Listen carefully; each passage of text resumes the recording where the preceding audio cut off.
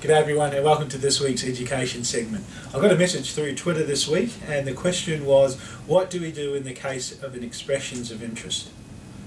Well my advice is why wait for the end and the cut-off date? Why not, if you've seen the property in the first week, you like it, you can afford it, why don't you start negotiating it straight away? That way you're taking control of the negotiation and not leaving it up to the agent or the owner at the end of it all.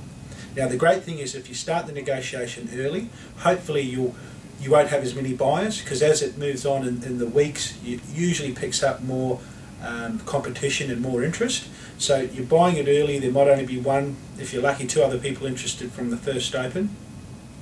And I find if it's not in your price range after placing a few offers, the great thing is, is that you haven't spent money on inspections, conveyancing, and more importantly, you haven't wasted any emotion waiting around for four weeks just to miss out on the home. And you know, you could have been out there looking at other properties. So take control of the negotiation and start negotiations off very early in the piece. As always, with your last offer, put it in writing because I find that if the owner doesn't accept it, if they've got the contract there and it's in writing, you've got a high chance of him turning around and continuing the negotiation because you've done the hard work and you've put in uh, the signed contract with the cheque, and it's not too far to close the gap. I'm Rob Skeen. Thanks as always for joining us. Take care.